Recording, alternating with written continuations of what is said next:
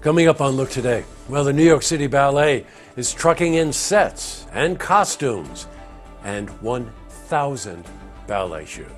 In preparation for the residency at the Saratoga Performing Arts Center, we were there today.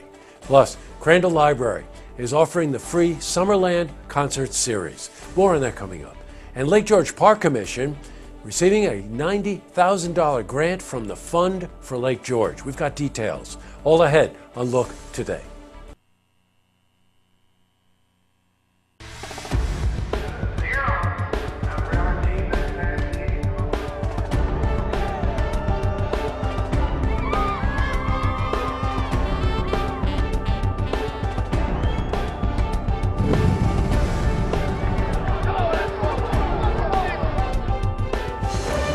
Welcome, everyone.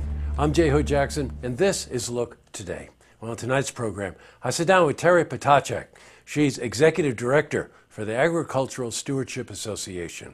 And we're joined by Rachel Dunn. She's Marketing Consultant for the Alliance for a Creative Economy, or as you might know, ACE. And they're here to talk about an upcoming farm tour that's happening in Washington County this Sunday. I also sit down with Michele Madigan.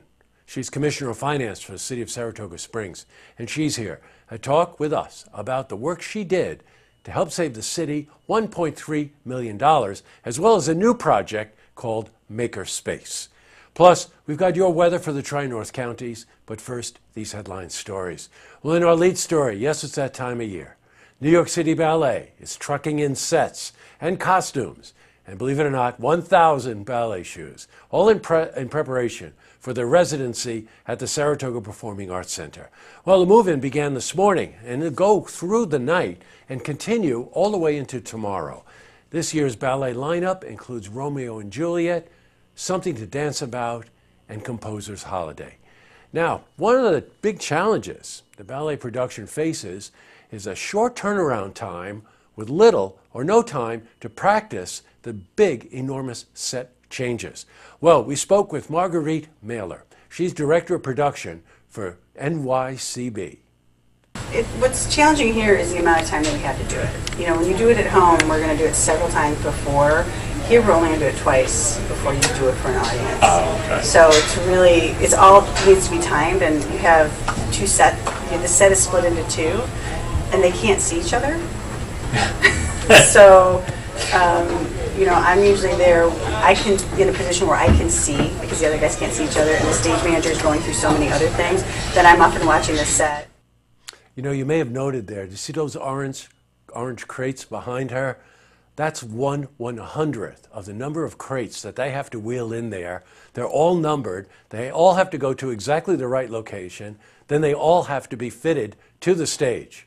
It is really an amazing undertaking. I've seen it firsthand.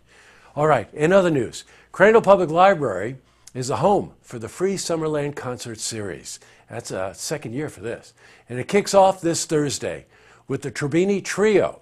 That's a New York City based quartet. And before you correct me, we will explain that. And the Summerland Concert Series is a real opportunity for members of our community to experience classical music. Now, the series runs July 12 to August 9. Today, we spoke with Carol Miner. She's Artistic Director for Summerland. This week we're kicking off our ninth season of concerts with the Cabrini Trio on Thursday, July 12th at 7 p.m. It's a free concert, donations are appreciated, and these are three elite musicians from the New York City area. Um, the instrumentation is clarinet, bassoon, and piano, but the bassoonist, who's actually a member of the Orpheus Chamber Orchestra, doubles as a soprano, so you'll hear her playing bassoon but also singing, so it makes for a really unique program. There you have it.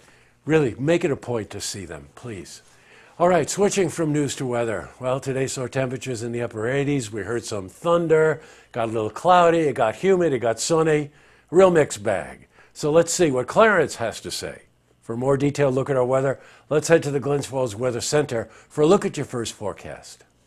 Thanks, Jesse. I'm meteorologist Clarence Ponsler with your first look weather update on Look TV. Right now, we're going to experience high pressure still in control of our area. If you're making any beach plans along the coast, be aware we have Chris slated to become a hurricane later today and into tonight.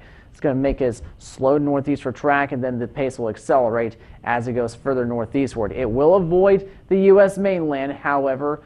We're going, thanks to the stage stream front first, and then eventually this cold front that's going to go by. Our main concern is going to be high pressure and plenty of dry weather over the next couple of days. But we have a few evening storms in our forecast tonight. 58 degrees will then go partly cloudy should go full sunshine in the wee hours of the morning. Then by mid morning, we'll be in the mid 60s. Sunny, highs about 80, north wind at 7 to 9 miles per hour. Be sure to check the back seat. Those cars will heat up 20 to 30 degrees warmer in as little as 15 minutes compared to the outdoor environment. So with our high of 80 degrees, that's 100 to 110 in 15 minutes. So no errand is short enough. Stay safe, people. Mid to upper 80s, maybe about 90 in some spots by the weekend. Could see a 30% threat of showers and storms by Saturday. So keep your plans in check in case the weather does go bad. Lows will be a bit more humid after 50s for lows Wednesday and Thursday. Mid 60s by the weekend. That was your forecast for First Look Weather on Look TV. I'm meteorologist Clarence Ponsler. Now I send it back to you, Jesse. We're laughing here because we love Clarence, as you probably figured out. But we love these hot weather tips. That last one got us all by surprise. Check the back seat. I don't know what that means. Maybe you should already know what's in the back seat before you get out of the car. Back to the news. At their annual meeting, the Fund for Lake George announced grants that they were going to award to organizations with lake protection priorities. Big deal. Now, the Lake George Park Commission received $90,000 for their work in aquatic species prevention and milfoil removal. The commission was recognized for the important work they do to protect the Queen of American Lakes. Now, other recipients include the Jefferson Project, as well as other towns surrounding the lake, including Hague, Queensbury, Bolton, and Lake George itself. And the Fund for Lake George is a privately funded, not for profit organization dedicated, and I use the word dedicated seriously, to the protection of Lake George. Find out about the Fund for Lake George. Up next, I sit down with Teri Ptacek, Executive Director for the Agricultural Stewardship Association. We're joined by Rachel Dunn. She's marketing consultant for the Alliance for a Creative Economy, or commonly referred to as ACE. And they're here to talk about an upcoming farm tour that's happening in Washington County. And I also sit down with Michele Madigan. Now, she's Commissioner of Finance, City of Saratoga Springs.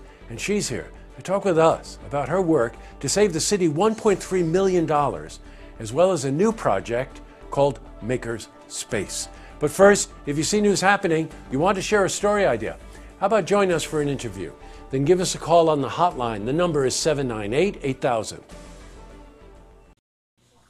That's all the time we have for this edition of Look Today. We're running really tight on time. However, yesterday we asked you if you could tell us why you knew it was summer around here at Look Media.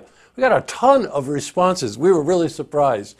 A lot of people said Saratoga Fair. You were right. We are going to have a whole bunch of Saratoga Fair tickets that we're going to announce next week. Someone said, oh, the summer guy. No, it's okay. But Lori Woodcock said, casual summer attire a reference to the shorts that I have started to wear for the summer season. So, Lori, we haven't figured out what we're doing yet for you, but it'll be probably tickets for Saratoga Fair, and you get more tickets than anybody else.